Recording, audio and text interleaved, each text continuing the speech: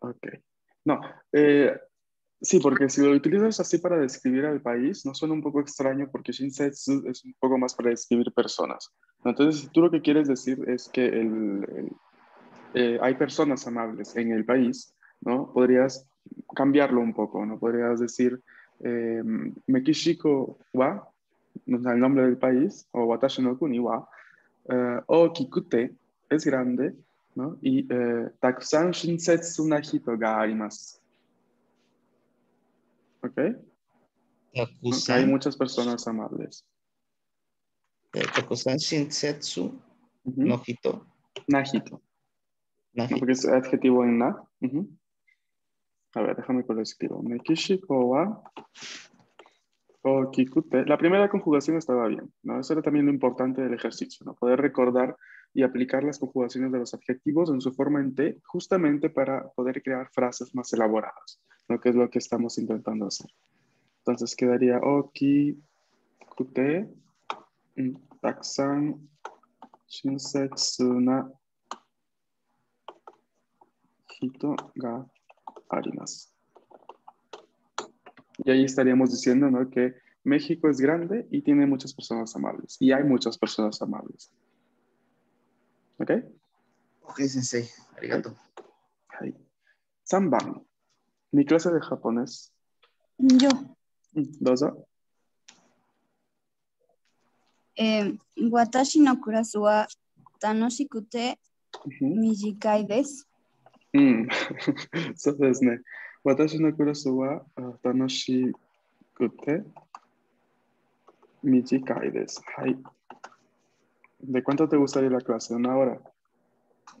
Ay. Okay. Hmm. John Bang, un miembro de su familia,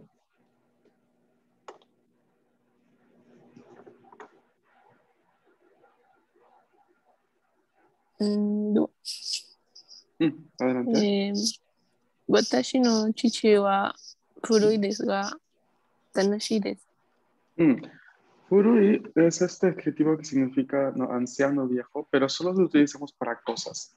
¿no? En el caso de personas, eh, vamos a utilizar otoshiyori. Otoshiyori. はい。Eh, toshiyori. Otoshiyori es un sustantivo, ¿no? Es un sustantivo que significa persona de, de una, de una cierta edad. De una, perdón, de persona de una cierta edad, ¿no? Persona, no, no del todo anciana, pero claramente una, una persona ya grande, ¿no? Adulta. ¿Ok? はい。Entonces, mm. Que me aparezcan solo los kanjis. Entonces vamos a poner, vamos a poner, ya que es un sustantivo, ¿cómo lo vamos a poner en su forma en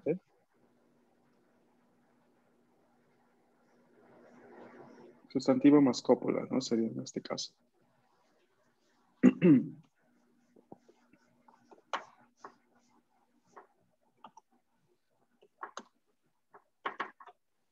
Mm, Vamos a ver el recuadro. Mm, Los sustantivos seguidos de copulares, ¿no? que en este caso sería, eh, ¿cómo se dice? Muy, eh, sería justamente lo que estamos intentando decir, ¿no? porque otoshiyori siendo sustantivo, si lo utilizáramos en una frase normalmente afirmativa, ¿no? sería ¿no? chichi wa otoshiyori desu. No, mi papá es una persona adulta, una persona grande, ¿no? Eh, pero este des no puede quedar así des en la, en la frase que estamos creando, ¿no? porque estamos intentando vincular dos enunciados de cierta forma, no dos descripciones.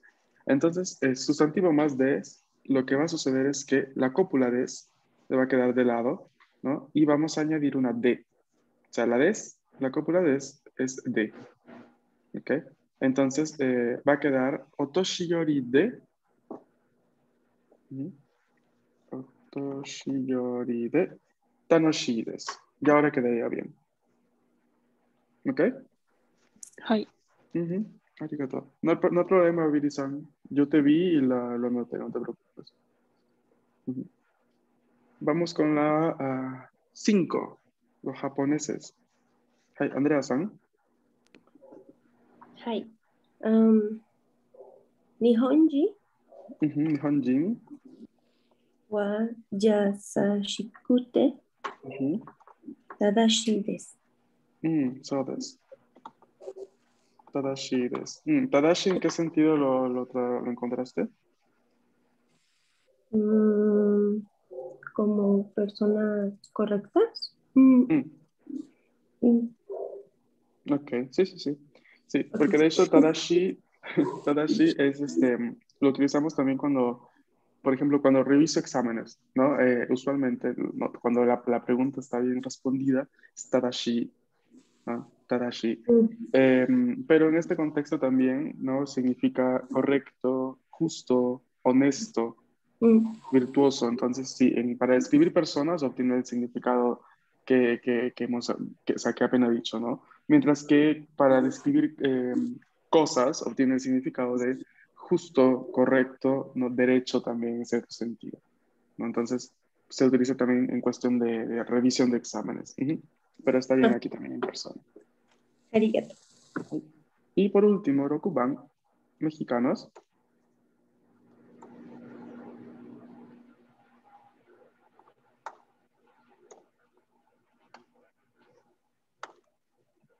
¿Quién hizo la 6?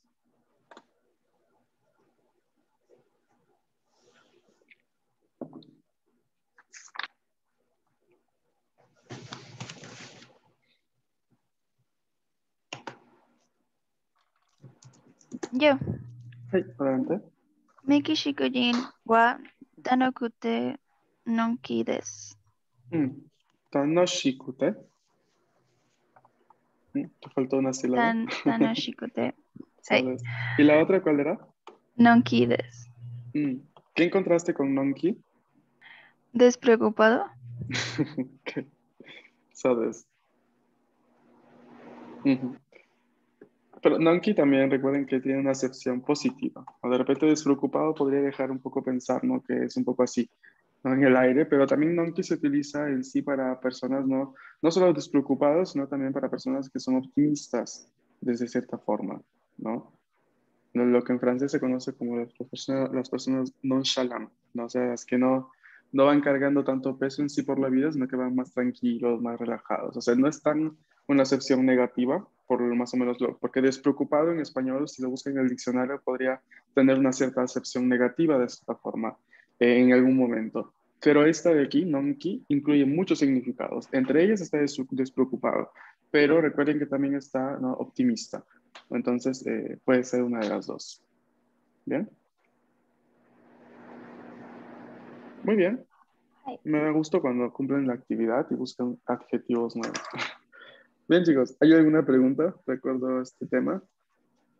Sí, sencillo. Bueno, en el de japoneses busqué ordenados y tradicionales y ambos me aparecieron con al final tequina. O sea, sí, en, or- en ordenado me apareció Soshiki tequina y en tradicionales dento tequina. sí. Em, su- su- son ambos adjetivos en na. ¿no? Dentro teki, el teki que ves allí, que te aparece, significa tipo, como tipo de, ¿no? O sea, es como para utilizar, para, ¿cómo lo diríamos en español que nos suena extraño? A ver, para adjetivizar un sustantivo. O sea, dento es tradición, la palabra dento. Dento teki, algo como tipo de tradición, ¿no? Entonces, tradicional. No sé si me dejo entender. ¿no? El teki sirve, sirve un poco así para transformar en adjetivo palabras que ya son sustantivos. Ahora, eh, todos siendo teki una, una palabra en sí que eh, funciona un poco como adjetivo en na, entonces al momento de fusionarse con toda la palabra, toda la palabra termina siendo un adjetivo en na. Entonces, lo que sucede aquí es que no creo que los puedas utilizar del todo, eh, del todo solos, porque tanto Dentoteki como el anterior que mencionaste son este, ad- ad- adjetivos que van a requerir una, un sustantivo para atribuirles su significado. Entonces, en el caso de japoneses, no podrías decir, no, Nihonjin wa Dentoteki na hito. Dentoteki na hito de, coma, y ya luego lo- la otra palabra que no me quedó clara cuál era, perdón. Otoshi, ¿Cómo era? Em, Soshiki tequina. Soshiki. mm. No. Ah, ok, ok, ok. Ya entendí, muy bien. Mm, Sí, sí, sí, so-. Mm. So shikiteki. So shi- Perdón, me entrevero porque es muy complicado. so, shi- des quedaría. ¿Ok? O sea, a ver, déjame que lo, lo escribo. Nihonjin wa.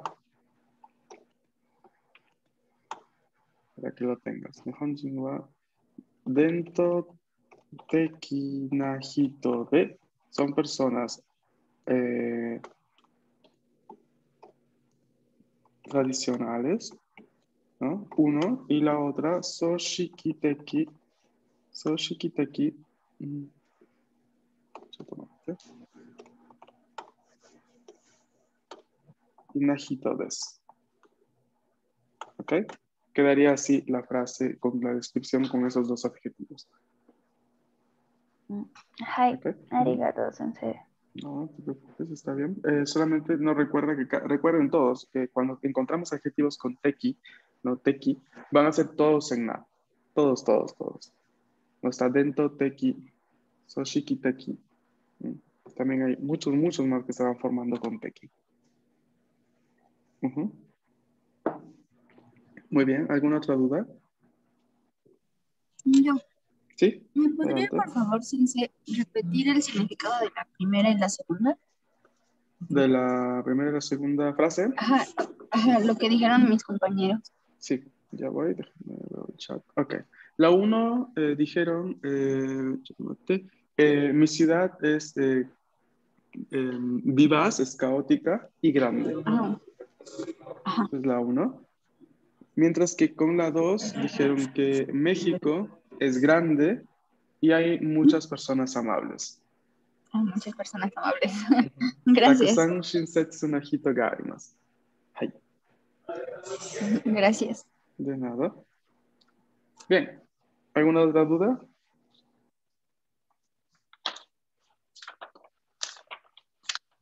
Bien.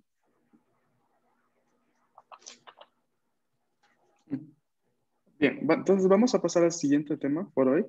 Eh, el siguiente tema es toda una estructura de por sí eh, que es bastante interesante. Eh, es la raíz verbal, ¿no? Eh, no sé si este tema ya lo habíamos empezado a ver el viernes, chicos, creo que no.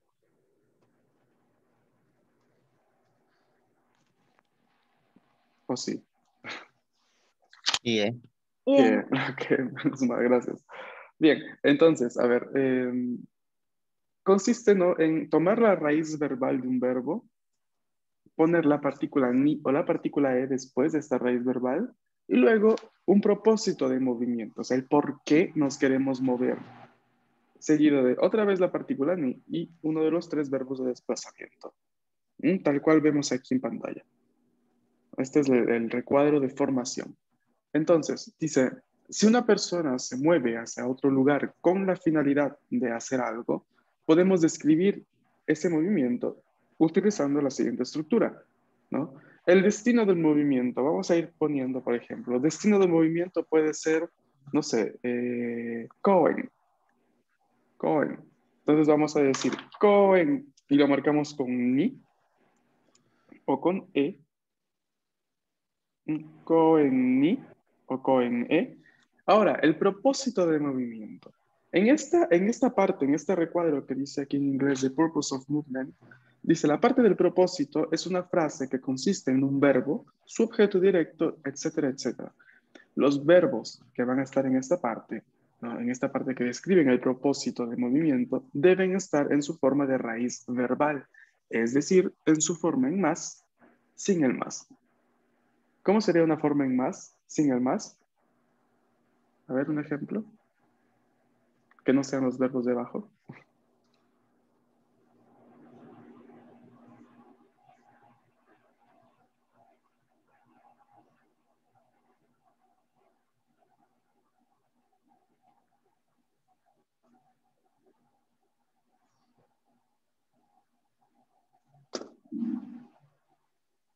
No, no se les ocurre ningún verbo.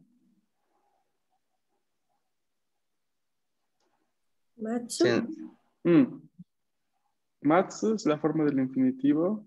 ¿Cómo sería su forma en más? Machimas. Mm. ¿Y si le quitamos el más? Machi. Mm, exacto. Ese machi, haciendo ese proceso, ¿no? primero tomando la forma en más del verbo y luego quitándole más, obtenemos lo que en gramática se llama raíz verbal. ¿Ok? Em, entonces, esta raíz verbal de todos los verbos la vamos a utilizar en esta parte del recuadro del propósito de movimiento. Entonces, si seguimos la, la parte de, eh, de, mi, em, de la frase, ¿no? Y quiero decir, eh, ni, no, going ni, no, destination of movement, going, parque, ni, partícula. En el propósito de movimiento quiero utilizar eh, que voy a encontrar a un amigo. ¿Cómo quedaría?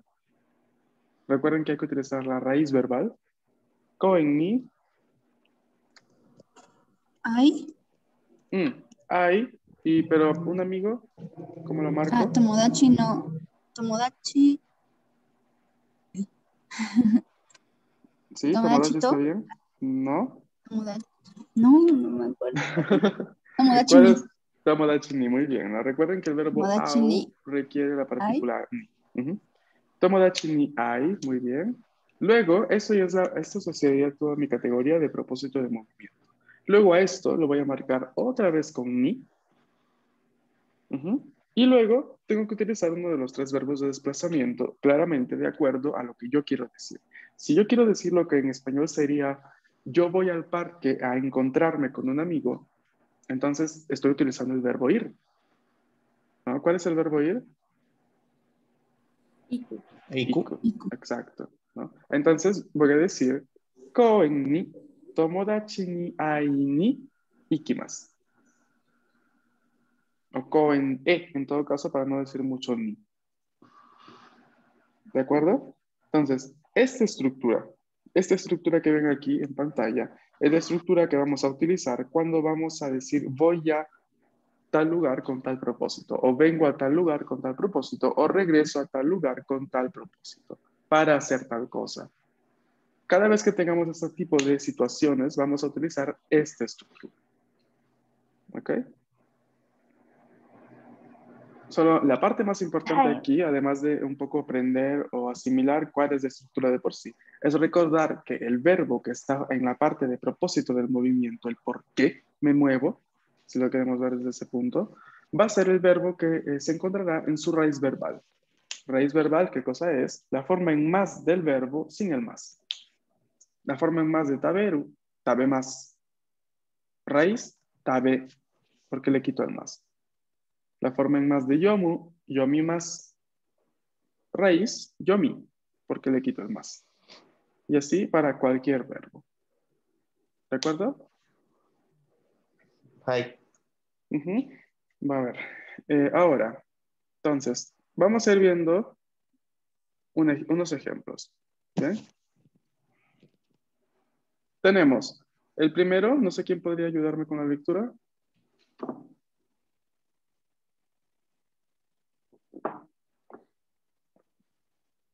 Yo. Adelante. De Patoni, Cabano, Kaini y So des.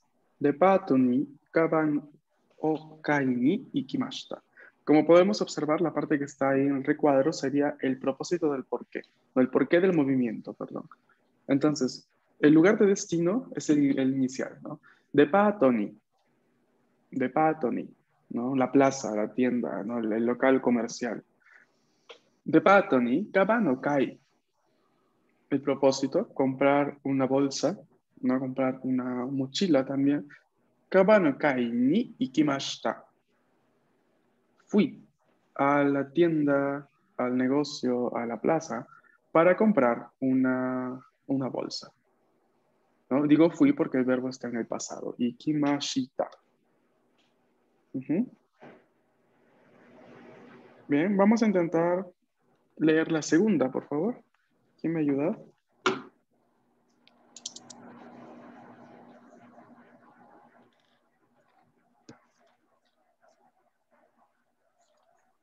Yo.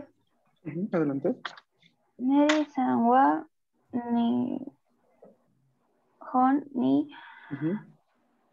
Nihongo o Benkyoshi ni Kimashita. So desu ne, arigato. Mary san wa Nihon ni Nihongo benkyoshi ni kimashita. Ahí tenemos el verbo kuru, ¿no? En la parte final de la oración. Mary san wa es el sujeto. ¿No? Cuando, recuerden que cuando no somos nosotros el sujeto, vamos a tener que especificarlo de alguna forma. En este caso, diciendo el nombre de la persona, seguido del, del sufijo de respeto san.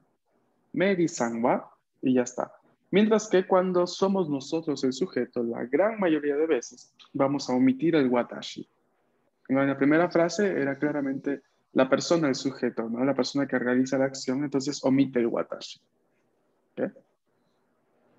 Entonces, en la 2 quedaría Meri-san wa Nihon ni. Nihon sería el lugar de destino, ¿no? Si regresamos a la primera, a la diapositiva anterior, vemos, recordemos aquí, ¿no? Destination of movement, ¿no? Aquí sería Nihon, que puede ser seguido de ni o e. Entonces, Nihon ni, Nihongo benkyo shi, propósito del movimiento, el por qué, ni kimashita. Entonces, Mary vino, kimashita, Mary vino a Japón para estudiar japonés. Nihongo benkyo shi. ¿Y ka? ¿Se entiende? はい。¿Sí? Sí. Mm. Sobre eso. Ahora, vamos a intentar hacer unos ejercicios. A ver, nos quedan unos poquísimos minutos, pero al menos intentemos introducir la dinámica. Dice, crea frases como la del ejemplo. ¿Qué sucede aquí? El ejemplo me da lugares de eh, destino. Kyoto, Toshokan, Shokudo, Yubin Kyoku, Toka Toka. Y luego me dice la acción que se va a tener que realizar, ¿no? El por qué voy a ir, venir, regresar a tal lugar. Entonces, en el caso del ejemplo, tengo Kyoto, Kabuki o Miru. Kabuki es este arte de teatro japonés muy tradicional, un teatro tradicional muy bonito en realidad. Eh, entonces, en Kyoto hay muchos teatros de Kabuki. Eh, ¿Cómo podríamos decir, no? Voy a Kyoto. Voy a Kyoto para ver Kabuki. Entonces, el ejemplo me dice, Su-san wa, ella, ¿no? Sería su. Su-san wa Kyoto ni Kabuki o mini ikimasu. Su va a Kyoto para ver un espectáculo de Kabuki. ¿Ok? ¿Sí se entiende lo que hay que hacer? Claramente lo, lo- lo que hay que ver aquí ¿no? es el verbo y hay que obtener la forma de su raíz verbal, pero es esta el propósito de acción y este es el lugar de destino. ¿Y desca? Ay. Mm. Intentemos hacerla uno juntos y el resto las dejamos como actividad para mañana. Bien. A ver, entonces, la 1 sería, eh, a ver, ¿quién la podría hacer? Yo. Uh -huh. Susan ni hon o ¿Qué es mm, prestado. Cari, Carini. Uh -huh. ¿Y qué más? ¿Está? Mm. Ok, si quieres utilizar el pasado, está bien, no hay ningún problema. Mm. Susan wa toshokan ni hono kari ni ikimashita. Muy bien. Ok. Su fue a la librería, a la biblioteca, para pedir prestado un libro. ¿De acuerdo? ¿Sí? Mm. Bien, a ver, entonces, a ver, se les, les voy a recomendar hacer las dos, la 2, 3 y 4. ¿Alguien, por favor, me ayuda haciendo una captura a la, a la diapositiva y enviándola luego en el grupo de WhatsApp, por favor? Avísenme.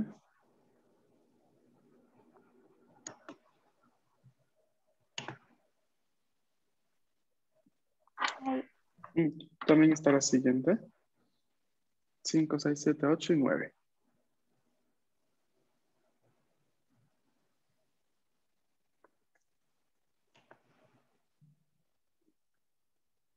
Ok. Bien, entonces, para mañana intenten hacer estas frases. Mañana me conecto y voy a ir ¿no? preguntando sus ejemplos, por favor. ¿De acuerdo? Hi. Muy bien. Entonces, de mi parte sería todo por hoy, chicos. Muchas gracias por estar aquí y este, les deseo que tengan un buen inicio de semana sobre todo. Ya sé que es difícil comenzar otra vez los lunes, pero em, espero que les vaya todo bien y nos estamos viendo mañana. ¿De acuerdo? Matashita, minasan.